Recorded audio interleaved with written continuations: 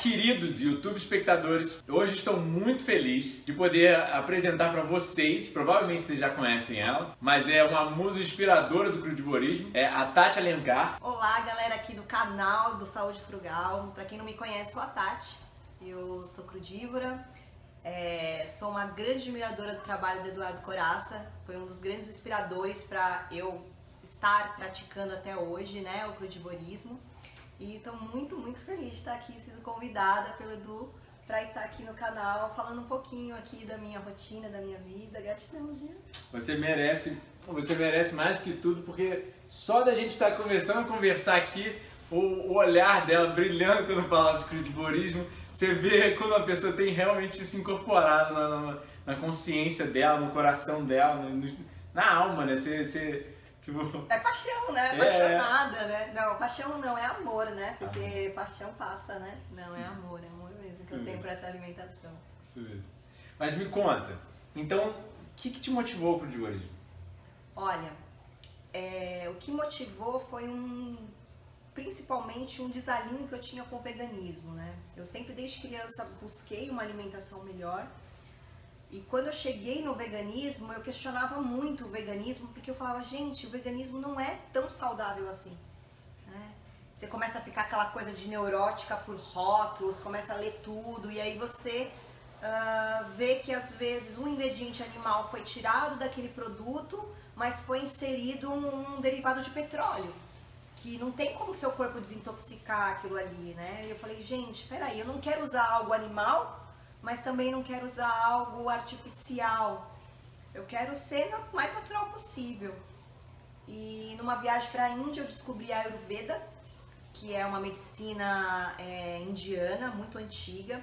E eles trabalham muito com a linha de não coloque nada na sua pele que você não possa comer e uma alimentação o máximo possível desintoxicante. Só que eles são lacto-vegetarianos, né? Eles não trabalham com essa linha vegana, tudo mais. E quando eu voltei de lá da Índia em 2013, eu voltei fissurada em querer desintoxicar o meu corpo, porque eu, quando você começa a estudar isso, você vê o quanto você veio intoxicando o seu corpo durante os anos, mesmo você achando que fez uma alimentação saudável, sem carne, sem, né? Não, tem muita coisa que a indústria esconde e que você não sabe de onde vem. E aí nisso eu comecei a estudar bastante e um dos primeiros livros que eu achei na internet para ler foi um que foi traduzido pelo, pelo Du, que é o 801010 e, e o do Dr. Alberto, que é o Lugar de Médico na Cozinha, foram os dois primeiros livros que eu li e eu falei, é isso, né? Vou desintoxicar. Eu não tinha nenhuma doença muito grave, mas eu tinha algumas coisas, assim. Eu tinha, por exemplo, ovários policísticos, sabe que eles são correlacionados com AIDS, né? Exato. Não, sei se você já viu os dados, mas eles, é, mulheres, todas as mulheres que têm ovário policístico, desculpem é, cortar, elas têm altos níveis de AIDS séricos, uma toxina produzida pelo cozimento em altas quantidades no sangue. Uau, que legal. Eu tinha então um ovário policístico e eu tinha um pouco de refluxo. Que é aquela coisa que você vai no médico, o médico fala assim, ah, é normal ter gastrite, né? Normal, né? Você ter um pouquinho de gastrite. né? Mas é, né? Porque você não tá tão doente, você não tem um câncer, né? Mas você tem uma gastrite, tá tudo bem, ainda bem você tem uma gastrite, né? Não, não é normal, gente. E, e eu comecei a praticar, comecei a estudar e quando eu vi, eu tava totalmente imersa, eu comecei a sentir toda a vitalidade do meu corpo, uh, consegui encontrar os livros do Dudu na época é, pessoalmente, dentro do Parque da Água Branca e tava louca para fazer um jejum e aí fui lá e li todo o livro dele, fiz jejum e eu mergulhei nisso, né? Foi assim muito forte. E o que me deu mais o start de mergulhar foi a doença do, do meu ex-marido. Ele teve um câncer e lendo todos os relatos de quanto alimentação viva, crua, ela curava, eu falei, é isso, né? E aí ele teve ótimos resultados, ele conseguiu em dois meses regredir o câncer, as células metastásicas estavam no tumor dele sumiram. E eu falei, é isso, é isso que eu quero pra minha vida, né? Não tem outra escolha, não, não tem volta, né? Eu escolhi a vida, né? Então. Me conta, como que foi essa transição? Como que foi. Quais são os benefícios que você viu no crudivorismo? Por que, que você se mantém nele, né? Olha, eu sou uma pessoa muito sensível com energia. Né? Hoje eu trabalho com, com essa coisa de energia e eu sentia como se a minha energeticamente, não era só fisicamente, porque fisicamente os benefícios são na hora, assim, você vê, você, o seu intestino funciona melhor, a sua pele fica melhor, o seu cabelo, tudo fica bom. Mas eu sentia a sutilidade de quanto aquela energia me deixava feliz, me deixava equilibrada. Quando eu comia algo, eu, eu sentia conectada, sabe? Parecia que eu estava alinhada dentro do meu corpo. E aquilo me fez assim, é, no meu trabalho, nas minhas coisas, ser mais centrada, mais conectada, com a clareza mental. E quando eu comia alguma coisa que não era assim, eu sentia com a energia baixa, sentia com preguiça de fazer as coisas. E a questão mesmo, disso aí mesmo, né? De quanto que a alimentação, quando você come, isso porque a gente está falando só de cozido, né? Como come um monte de tranqueiro ou uma alimentação cozida, toda a atenção vai para sua digestão, você fica letárgico, você fica cansado.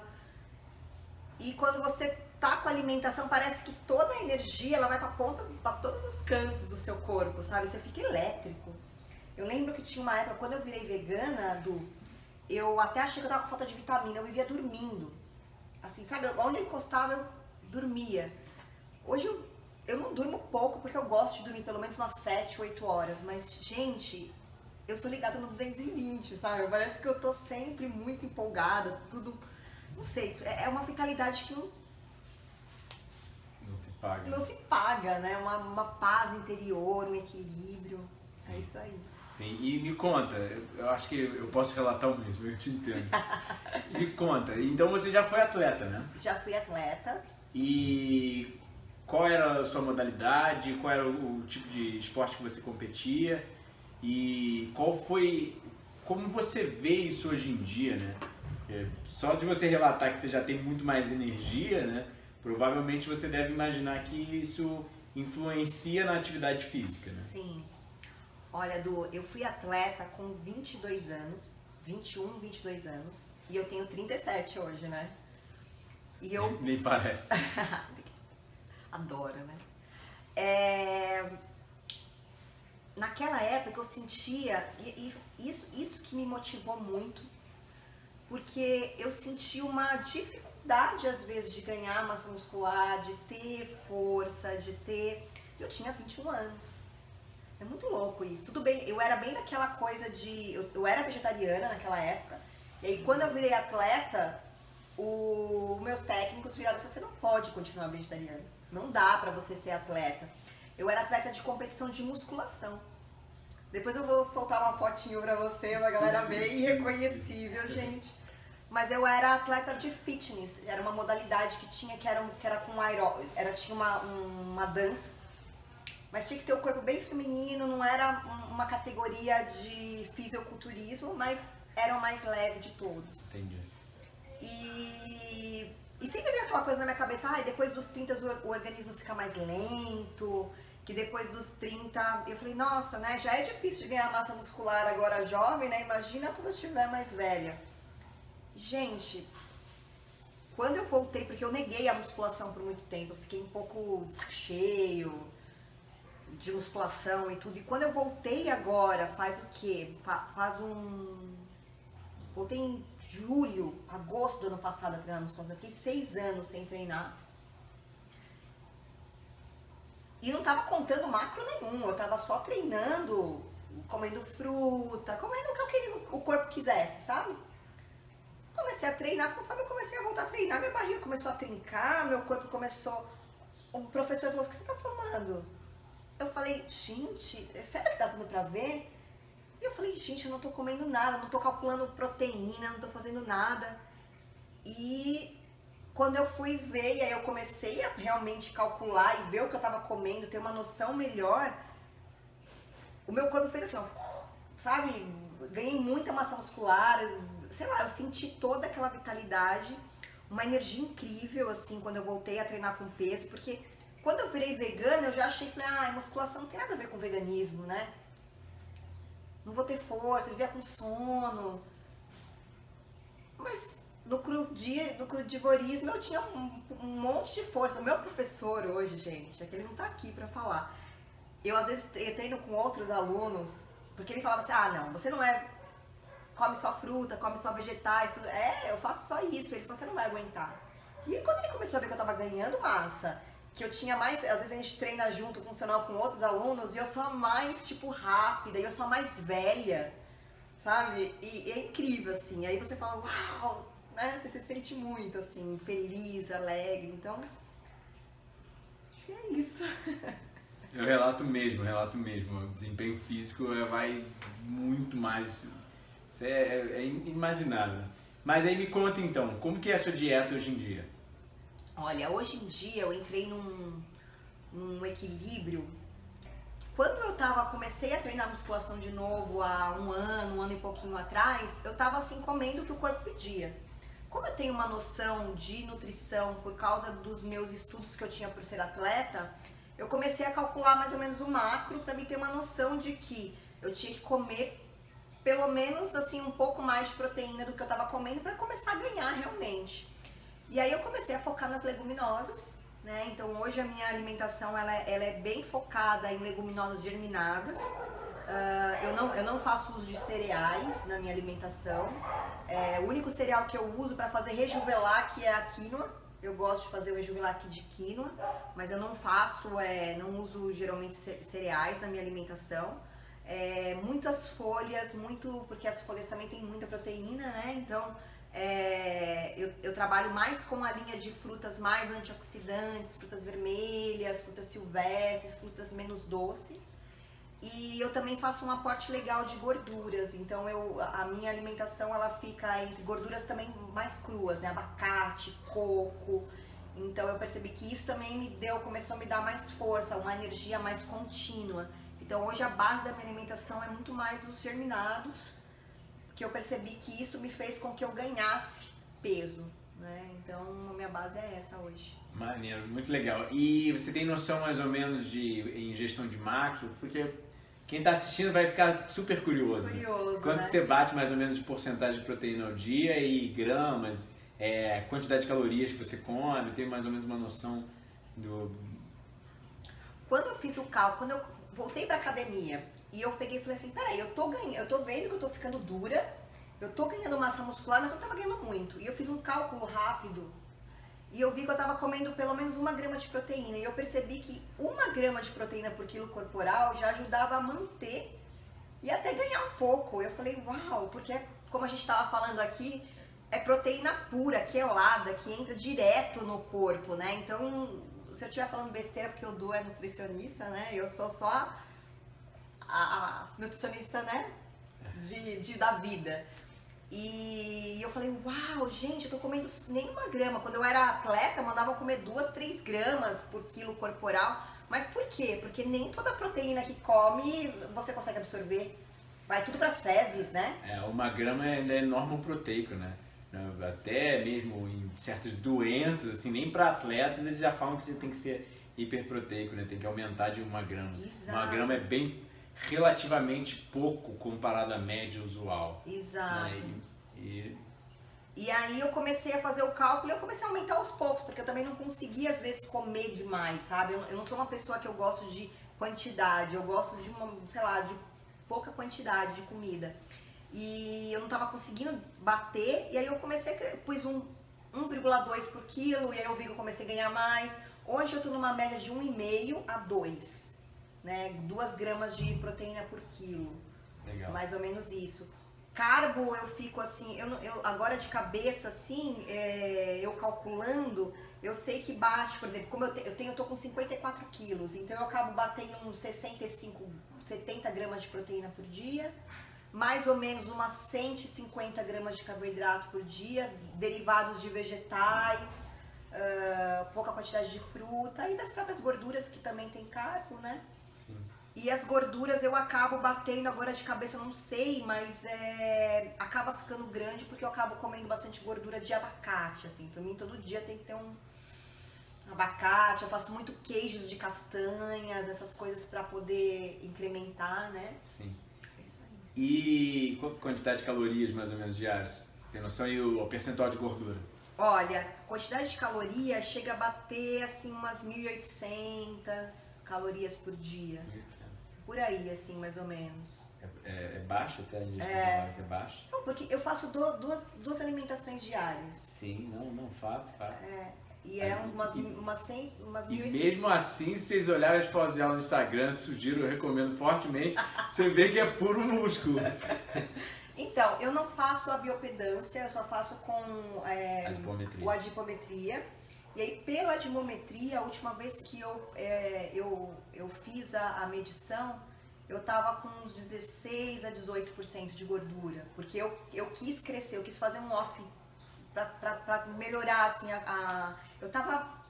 é, Se vocês verem lá, por exemplo, você tem uma foto, tá minha bunda. Eu tenho que falar isso, né, gente? A minha bunda, acho que há 3, 2 anos atrás, eu tava muito flácida. Tava muito caída. E assim, eu queria aumentar a massa muscular mesmo, né? Então não tem jeito, quando você aumenta a massa muscular, aumenta um pouco da gordura. Então, com o adipômetro tava dando mais ou menos isso, mas não, não faço ideia se é tão correto assim. Então, dando um, um ultimato ali, a comparação da- da- da- dos desempenhos que você tinha com comida cozida, seja vegano ou onívora, com o crudivorismo, o crudivorismo realmente não deixou é, faltar é, o volume, não te deixou não saciada, né, com desejos, e ainda te deu o maior ganho de massa muscular. Sim. E eu vejo assim, a cada aula eu, eu pego mais peso, sabe? Porque eu gosto de pegar peso, assim. E eu ganhei força, ganhei massa muscular, ganhei qualidade de vida, é, energia, vitalidade. E eu comparo, a gente, né? Não é pra comparar, né, gente? Mas eu comparo com as outras pessoas normais, que. Normais, quem é normal, né? A gente ou eles. Brincadeira, corta isso aí. Foi boa, né? Eu comparo com as pessoas que fazem uma alimentação é, convencional, que é, eu tenho mais energia e eu fico até feliz, né? Porque eu olho, aí eu sou meio competitivo, eu falo, agora, né, eu consigo mais, né? Aí às vezes eu pego o treino com homem, né? E eu pego, eu vejo que eu pego mais, faço supino com mais carga do que o cara, e aí o professor fica olhando e fala assim, olha, ela não come carne não, viu? Além de tudo, ela não come carne, não come, toma suplemento, não faz nada. E é demais, né? Eu adoro isso, Sim. porque. Sim, muito legal. Fiquem ligados, pessoal, que a gente vai fazer agora duas receitas. Eu também vou dar uma entrevista pro canal da Tati. É imperdível. Entra lá no canal dela. O canal dela tá lindo, muito bem editado, cheio de receitas, cheio de dicas, sabe? Até mesmo de cosméticos naturais, né? De outras coisas correlacionadas ao nosso estilo de vida. É realmente imperdível. Então me dá uma última, uma, uma última inspiração pro pessoal de casa, é, sabe? Pensar realmente nessa mudança, cogitar realmente essa mudança. O que você diria em poucas palavras? Olha, uma coisa que eu tava comentando com o Du é, antes da gente começar a gravar, a gente não consegue entender, porque a gente conhece muitas pessoas que começam essa alimentação e não conseguem continuar, né? Não conseguem, às vezes, é, dar continuidade, mesmo se sentindo bem. A gente acha até estranho isso, porque a pessoa tá se sentindo bem, ela vê a vitalidade, ela vê a mudança, ela vê a cura das doenças, às vezes não consegue. E eu queria deixar uma reflexão para vocês, né, sobre a questão de eu tava falando pro Du, eu escolhi a vida. E quando eu escolho a vida, a partir do momento que eu escolhi isso, não tem como voltar atrás, porque eu quero viver, eu quero cada vez mais me sentir bem, ah, me sentir mais jovem, eu me sinto que cada vez mais eu rejuvenesço ao invés de eu envelhecer, sabe? E eu queria que vocês repensassem também, assim, porque muitas pessoas falam, ah, é difícil. Eu sempre fui autodidata, eu peguei os livros, li todos e, e comecei a praticar. E, e ninguém começa a virar crudívoro, assim, da noite pro dia, fazendo milhares de receitas. Ah, as pessoas falam, é difícil. Não, não é difícil, gente. Quando a gente escolhe a vida, a gente se sente bem, é, você vai fazer de tudo para conseguir viver desse jeito, né? Então é uma é uma reflexão que eu queria deixar para vocês, né? Se vocês escolhem a vida ou se vocês escolhem a morte, né? Eu acho que é isso que eu queria deixar pro canal. Nós não somos melhores que ninguém. É só você querer, só você acreditar que a força, a força da mente cria, atrai. Gostou do vídeo? Compartilha. dê um like, poste seus comentários aqui embaixo, se cadastre na mala direta do site e do blog, fique ligado nos nossos cursos, retiros, palestras e... É... Fique ligado nos nossos cursos, retiros, palestras ao longo do ano. Tem livros, os seis livros já publicados, é, cursos culinários, retiros. É, é só se educar. Busca também, fala um pouco mais sobre o seu trabalho, Tati. Como que eles podem te achar, como que eles podem é, é, acessar o seu conhecimento, entende? Você tem o canal, tem o Instagram e você roda jantares, né? Fala mais. É, eu ultimamente eu não estou conseguindo dar mais cursos presenciais, eu estou muito focada, eu tenho um trabalho com mandalas, que quem entrar no meu Instagram, né, que você vai colocar o link aqui, não? Quem entrar no meu Instagram, eu vou deixar aqui o link aqui no, no canal do Du para vocês verem, que é onde eu coloco muitas dicas, muitas coisas. E o meu canal do YouTube também, que vocês acho que já deixar, deixou aqui o link para vocês entrarem, é onde eu consigo passar meu conhecimento, porque quando eu descobri isso, eu falei, eu preciso passar isso pro mundo, eu não posso guardar isso só pra mim. E hoje, assim, eu acabo focando muito nas mandalas, eu não consigo dar cursos presenciais, mas eu tô lá no canal, tem uma página também no, no Facebook. Acho que a página nem precisa colocar. Não sei o que a gente fala. Acho que é isso, né? É isso aí. Então, muita, mas muita Saúde frugal, até a próxima.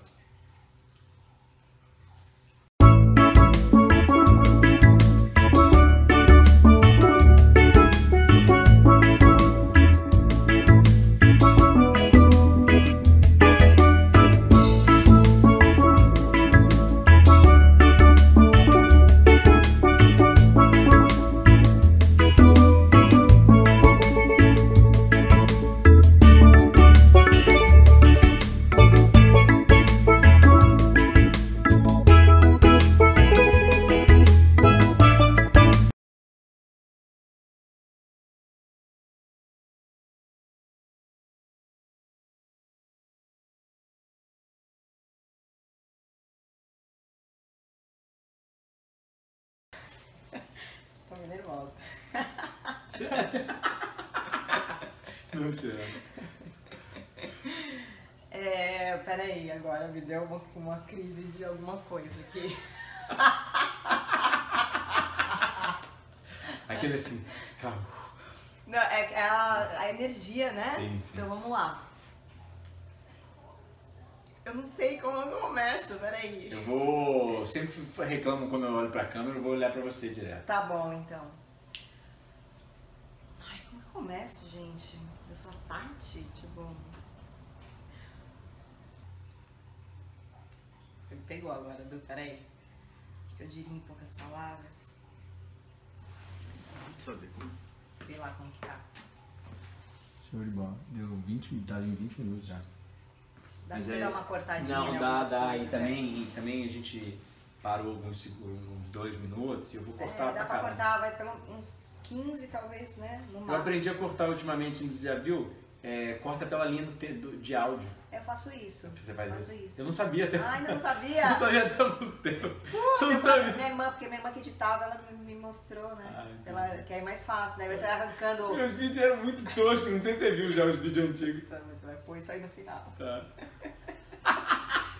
Prometo.